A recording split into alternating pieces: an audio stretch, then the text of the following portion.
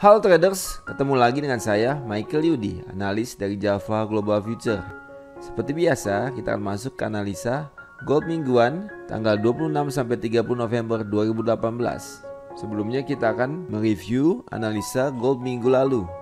Diprediksi gold pada minggu lalu naik ke level resisten 1 mingguan di level 1232.53 Ya di sini target minggu lalu tetapi gold hanya naik ke level 1230. Pada hari Senin, Selasa, Rabu sempat naik ke level 1230. Tetapi kemudian pada hari Kamis dan Jumat kembali turun.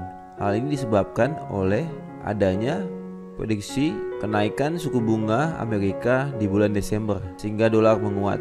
Gold terkoreksi turun. Tetapi secara mingguan Gold ditutup menguat tipis 1.50 di level 122.48. Baik, kita akan kembali menganalisa gold mingguan periode 26 sampai 30 November.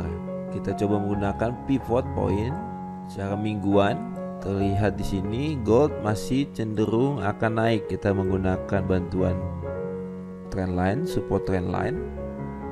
Kemudian kita bentuk di sini tunnel terlihat di sini dia membentuk pola tunnel up.